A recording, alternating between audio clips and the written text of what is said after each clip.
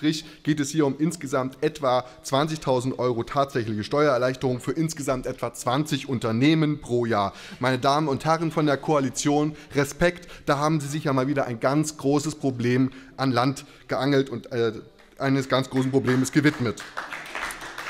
Dass 20.000 Schüler noch nicht mal ihre, äh, ihre Kosten für die äh, Schulbeförderung bekommen, das scheint Ihnen nicht ganz so wichtig zu sein. Aber da wollen wir nicht drüber diskutieren. Der vorliegende Antrag ist jedoch nicht nur kurios, sondern leider auch absurd. Es ist nämlich einfach Unfug, wenn die CDU hier behauptet, Oktoberfest und Hansesale würden ungleich behandelt. Nein, sie werden überhaupt nicht ungleich behandelt. Wenn ein Unternehmer mit seinen Geschäftspartnern oder Mitarbeitern auf der Hansesale in ein Bierzelt oder in eines der vielen Lokale im Stadthafen oder in Warnemünde einkehrt, dann kann er diese Kosten selbstverständlich von der Steuer absetzen.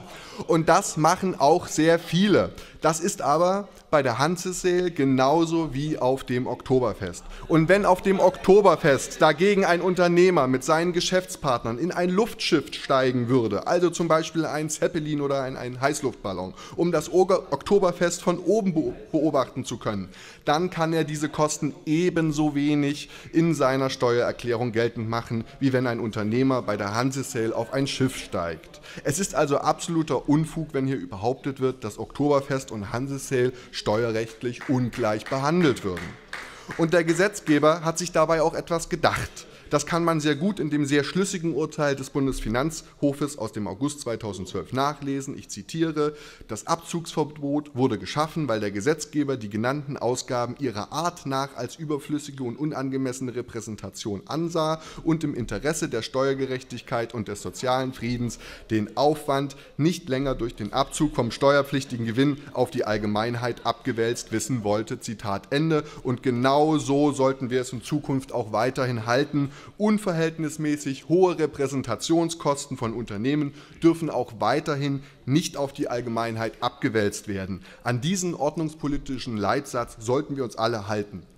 Im Übrigen würde die Abgrenzung zwischen abzugsfähigen Leistungen und nicht abzugsfähigen Leistungen immer mehr verwässert. Irgendwann wollen wir alle alles absetzen können. Ich glaube, das ist nicht die richtige Richtung. Und jetzt will ich Ihnen einmal etwas zum Thema Gerechtigkeit sagen. Der normale Bürger kann seine Fahrkarte für den Schiffsausflug mit seiner Familie auf der Hansesale auch nicht von der Steuer absetzen.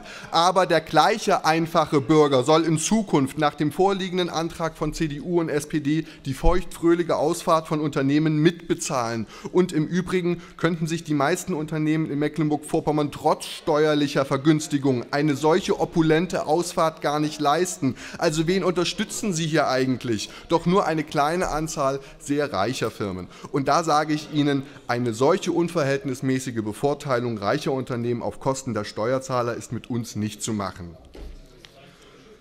Und als fadenscheiniges Argument für die Förderung einiger weniger reicher Unternehmen schiebt die Koalition auch nach allen Ernstes die Förderung von Traditionsschiffen vor. Wenn Sie, meine Damen und Herren von CDU und SPD, etwas für die Traditionsschiffe machen wollen, dann fördern Sie diese doch bitte direkt und nicht über den sehr ineffizienten Weg der steuerlichen Begünstigung von Geschäftsessen während des, der einmal jährlich stattfindenden Hansesale. Oder setzen Sie sich doch bitte beim Bund für die Vereinfachung der Betriebsgenehmigungen von Traditionsschiffen ein. Das Kreiswalder Traditionsschiff Lovis konnte wegen der erschwerten Genehmigung der Betriebserlaubnis ein halbes Jahr lang überhaupt keine Ausfahrten mehr unternehmen. Hier hätte ich mir die Unterstützung von SPD und CDU für die Traditionsschiffe wirklich gewünscht, aber wir haben nichts erfahren.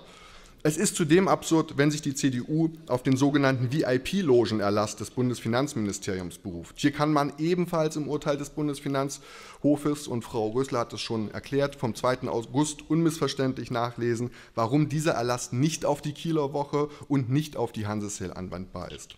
Demnach erhält ein Unternehmer bei Anmietung einer v, v VIP-Loge vom Veranstalter des sportlichen Ereignisses ein ganzes Leistungspaket, das neben dem eigentlichen Besuch zusätzliche Bestandteile wie Werbung und Bewirtung enthält. Beim VIP-Logenerlass im Fußball geht es also um Sponsoring aus einer Hand und nicht etwa um moderne Gastronomieschiffe, die davon profitieren wollen, dass unabhängig von ihrem eigenen Zutun hübsch anzusehende Traditionsschiffe im Hafen liegen.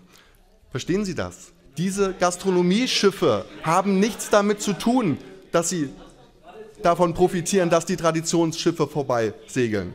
Im Übrigen ist der Antrag so unbestimmt und unkonkret, dass man ihm eigentlich formal schon nicht zustimmen kann. Sie wissen offensichtlich selbst nicht, wie diese Lockerung der Steuergesetzgebung aussehen soll.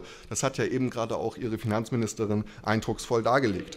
Ohne eben weitere Gleichbehandlungsprobleme damit zu schaffen. Wie wollen Sie denn eigentlich sicherstellen, dass der Steuervorteil für Unternehmen nur auf Traditionsschiffen und nicht auch auf modernen Gastronomieschiffen gilt? Wie wollen Sie das denn abgrenzen?